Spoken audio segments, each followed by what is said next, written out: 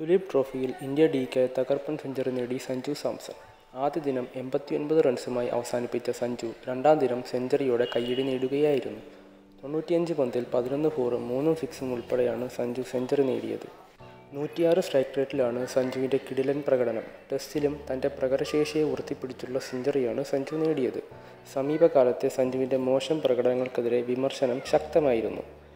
ബംഗ്ലാദേശിനെതിരായ T twenty പരമ്പരയ്ക്കുള്ള ടീമിനെ പ്രഖ്യാപിക്കാനിരിക്കെയാണ് ഡയറക്ടർമാരെ തന്റെ പേര് ഓർമ്മിപ്പിച്ച് സഞ്ജു സെഞ്ചുറി നേടിയതെന്ന് പറയാം. മോശം പന്തുകളെ തിരഞ്ഞാക്രമിച്ച് പക്വതയോടെ ടീം സ്കോറിനെ മുന്നോട്ട് കൊണ്ടുപോകാൻ സഞ്ജുവിനായി. ഏറ്റവും അനിവാര്യമായ സമയത്താണ് സഞ്ജുവിന്റെ ഈ നിർണായകമായ പ്രകടനം. വിമർശകരുടെ എല്ലാം വായടപ്പിച്ച് ഡി ടീമിനെ മുന്നിൽ നിന്ന് നയിക്കാൻ സഞ്ജുവിന് സാധിച്ചു. നൂറ്റിയൊന്ന് പന്ത് നേരിട്ട് നൂറ്റിയാറ് റൺസ് എടുത്താണ് സഞ്ജു പുറത്തായത്. നവദീപ് സേനിയാണ് സഞ്ജുവിന്റെ മടക്ക ടിക്കറ്റ് നൽകിയത്. ബംഗ്ലാദേശിനെതിരായ രണ്ടാം ടെസ്റ്റിലുള്ള ഇന്ത്യൻ ടീമിനെ ഇനിയും പ്രഖ്യാപിച്ചിട്ടില്ല. തകർപ്പൻ സെഞ്ചുറി നേടിയ സഞ്ജുവിന് രണ്ടാം ടെസ്റ്റിലേക്ക് വിളി ലഭിക്കുമോ എന്നാണ് കണ്ടറിയേണ്ടത്. ഇതുവരെ ടെസ്റ്റ് ടീമിലേക്ക് വിളിയെത്താത്ത സാരമാണ് സഞ്ജു. ശ്രേയസ് അയ്യർ അടക്കം ഡക്കിന് പുറത്തായ പിച്ചിൽ തകർപ്പൻ സെഞ്ചുറിയോടെ സഞ്ജു കസറിയത് സെലക്ടർമാർക്ക് കണ്ടില്ലെന്ന് അടിക്കാനാവില്ല സഞ്ജുവിന് ബംഗ്ലാദേശിനെതിരെ ടെസ്റ്റ് ടീമിൽ അവസരം ലഭിക്കാൻ സാധ്യത വളരെ കുറവാണ്.